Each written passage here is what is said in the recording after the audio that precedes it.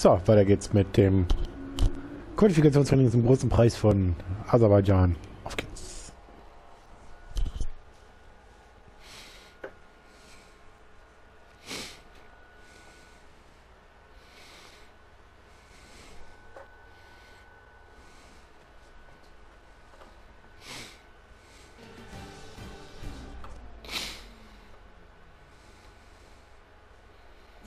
Qualifying in Aserbaidschan. Die Teams machen gerade ihre letzten Einstellungen, ehe die Ampel auf grün geht und die Fahrer um die Pole Position kämpfen werden.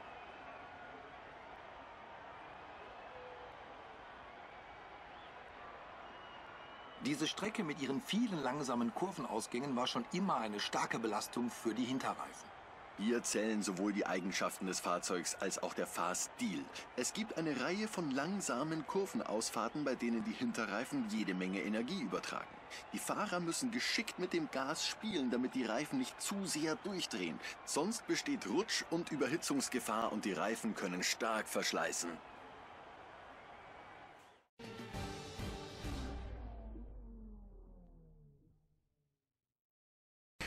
Ja, so. Wir sitzen im Auto, können gleich loslegen. Hm, ja, würde ich sagen. Können wir raus? Nee.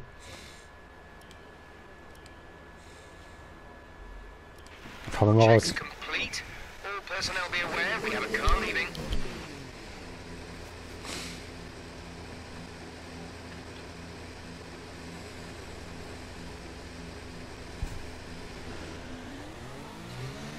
So, auf geht's.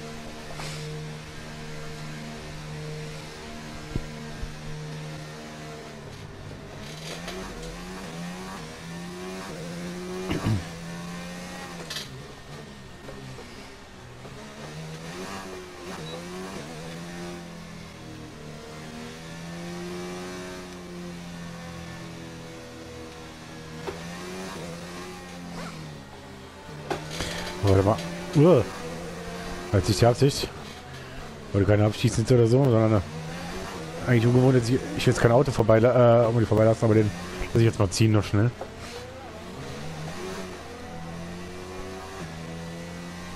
Soll den einfach mal da vorne ziehen. Also ich würde das Ding aus dem, das Ergebnis aus dem dritten Qualify gerne kopieren. Äh, dritten Training kopieren. Platz 1 und 2 wäre natürlich das genau das, was ich mir wünschen würde. Aber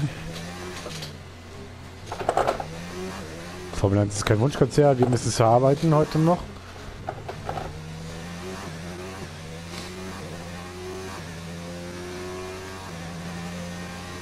Nur, dass ihr schon mal Bescheid wisst.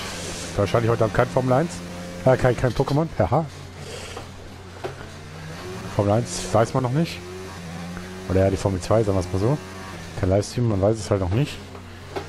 Stand jetzt weiß ich, doch weiß ich noch nicht, wie es äh, wie das mit den Plätzen aussieht, ob ich einen bekomme. Aber darüber will ich jetzt gleich nachdenken. Wir konzentrieren uns jetzt auf das Qualifikationstraining hier. Und wollen hier natürlich die nächste Pole in der Saison. Die zweite, glaube ich, wäre das.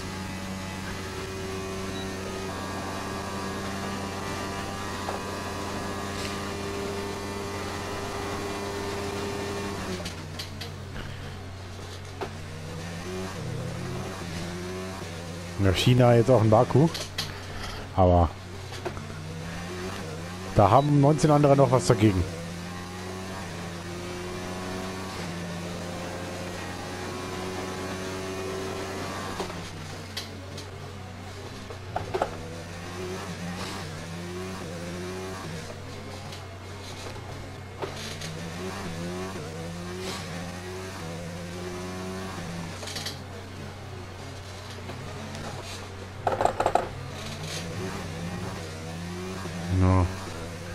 Schon groß genug ist, dann soll das funktionieren.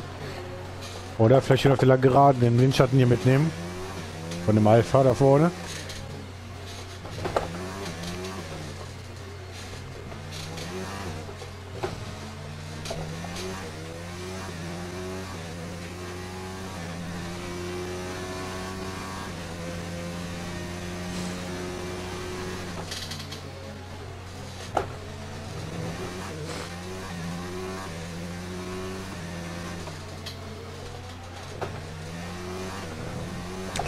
Zeit rausgekommen. 1,42,4 die erste Zeit, die es zu knacken gilt.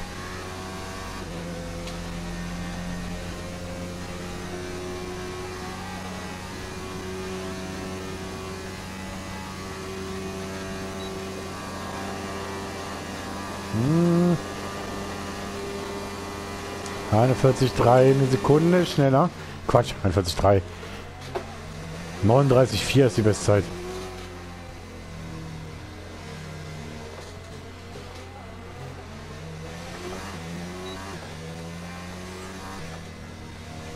So, die erste Ansage.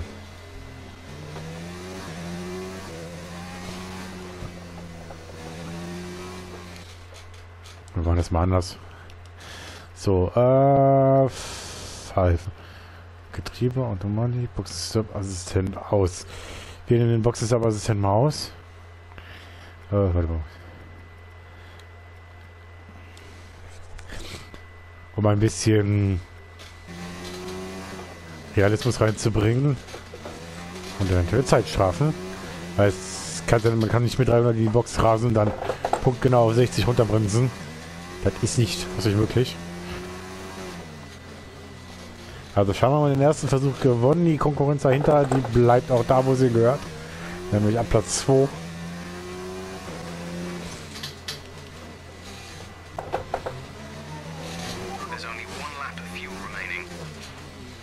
Ich hole dich meine Mutter mal ein bisschen.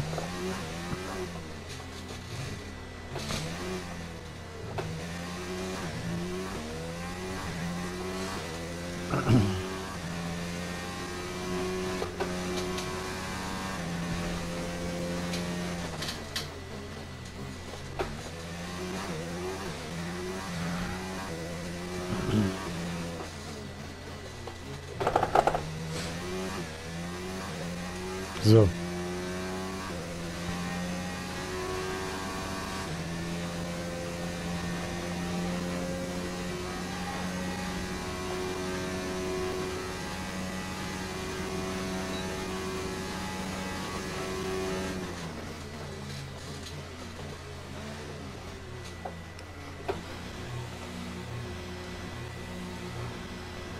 Mit auf 80. 80 ist hier das Limit.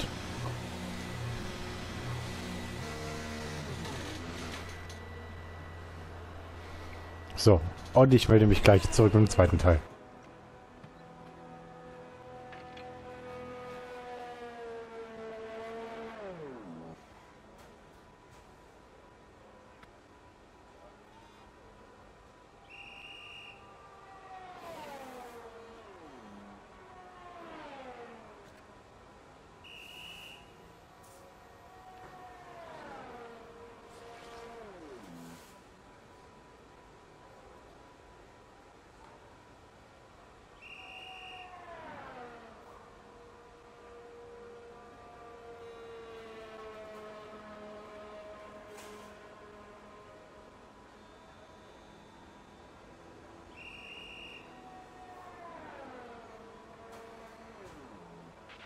So far, our fastest lap is a 1 minute 39.4.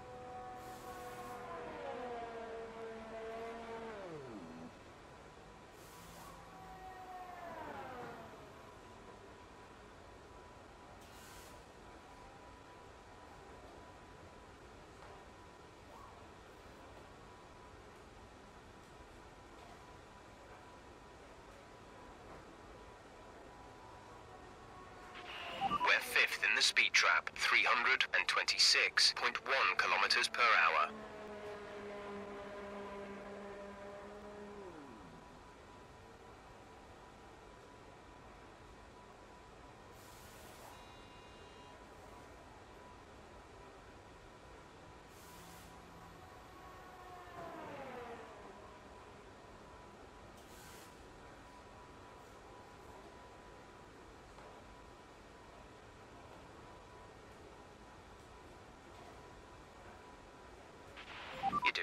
Job. We're much higher up the field than we expected to be.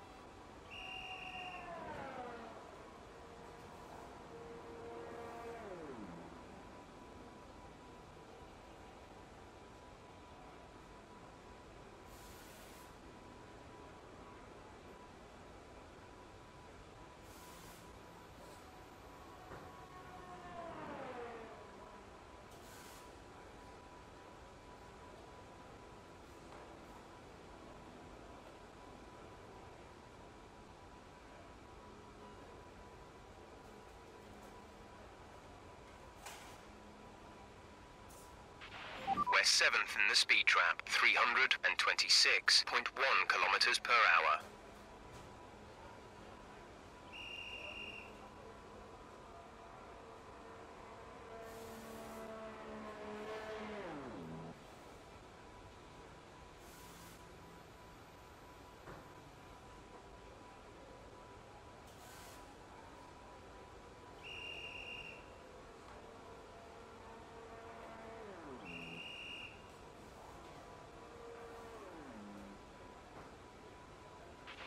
There's a few cars out on track. Perhaps we should get out there before it gets busy.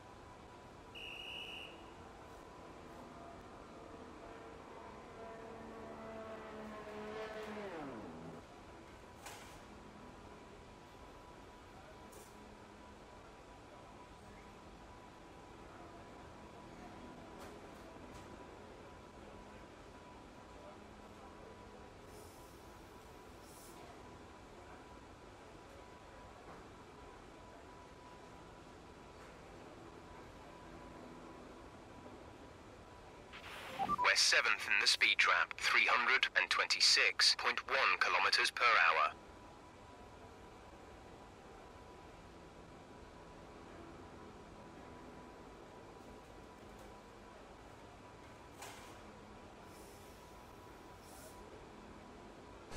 So, melde mich zurück. Ähm, ja, so macht die schnellsten sehr gut. Aber deutlich, aber auch. Letzten sechs Minuten. Ja, so zwei Minütchen warten noch.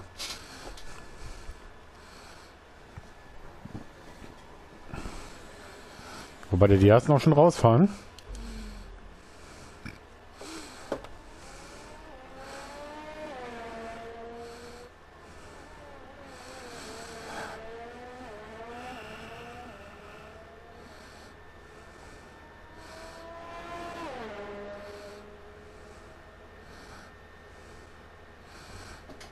So.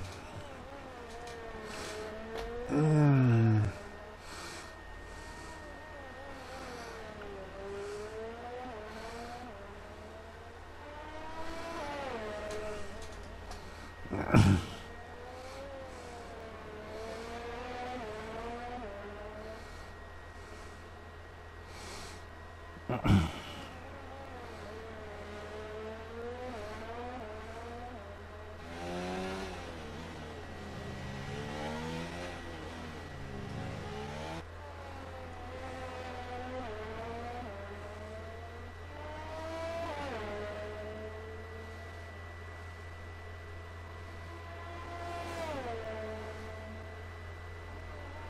Mm-hmm.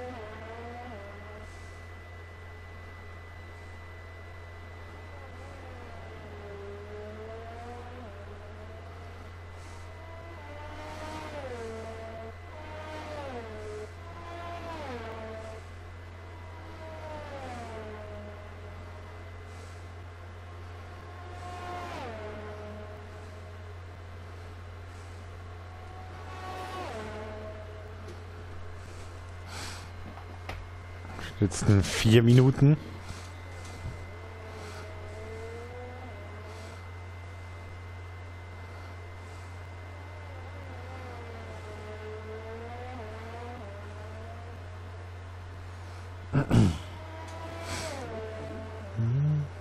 Dann fahren wir auch mal rauskommen. Standing by. Nur mal Versuch setzen.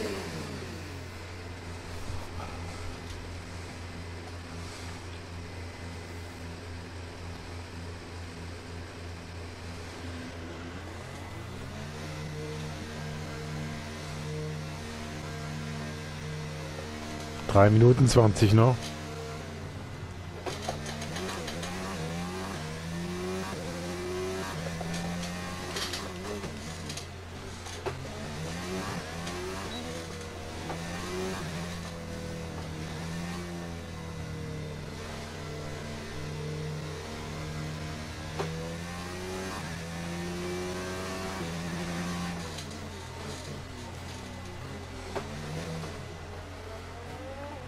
Ich lasse das Auto leider noch mal ziehen.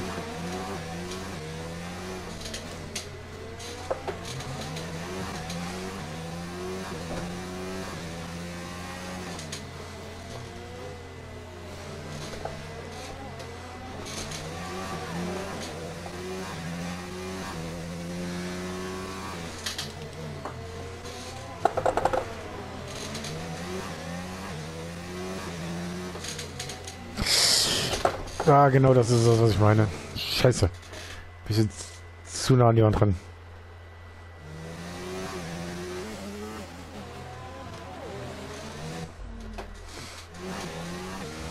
Aber ich darf jetzt nicht nochmal Boxes erlauben.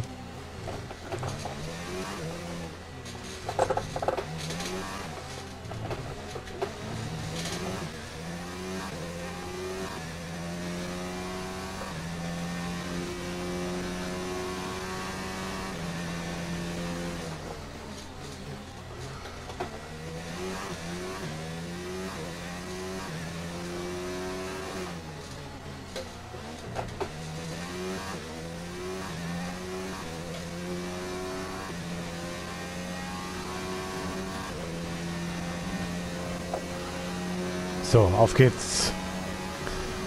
Der zweite Versuch.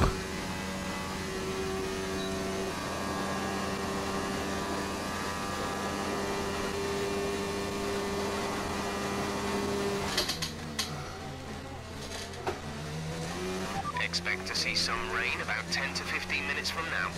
Ja gut, der uninteressante Regen. Zwar 10 bis 15 Minuten Regen, aber wir sind in einer Minute 20 ungefähr durch mit dem Training. Oder mit dem Qualifying.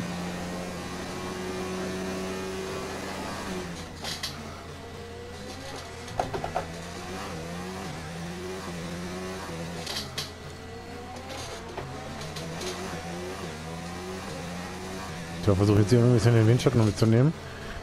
Vielleicht dann auf der Geraden aber da mal, mal ein bisschen was holen.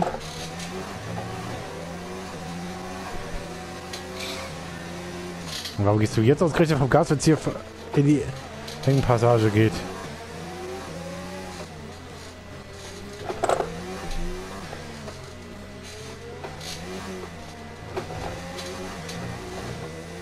Dankeschön. Ah, geht. Gott sei Dank hat es keine nicht viel Zeit gekostet.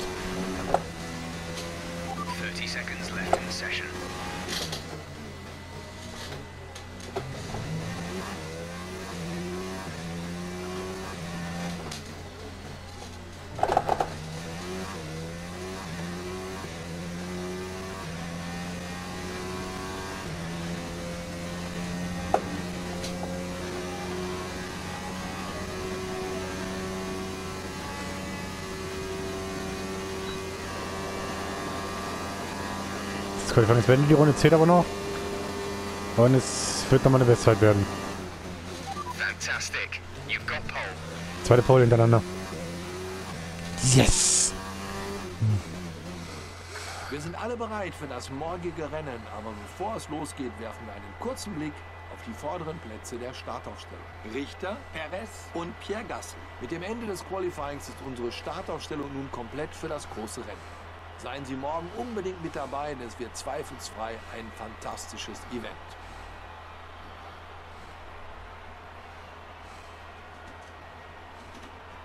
Genau so ist es.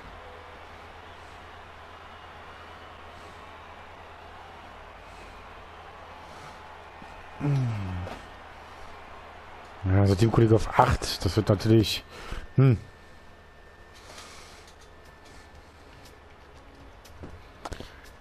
Für ihn wird es eine schwierige Aufgabe. Und für uns wird es auch. Aber wir haben einen guten Vorsprung, was das betrifft.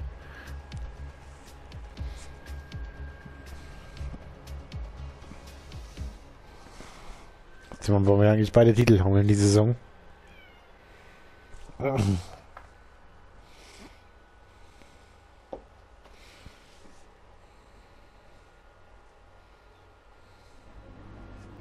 naja, gut.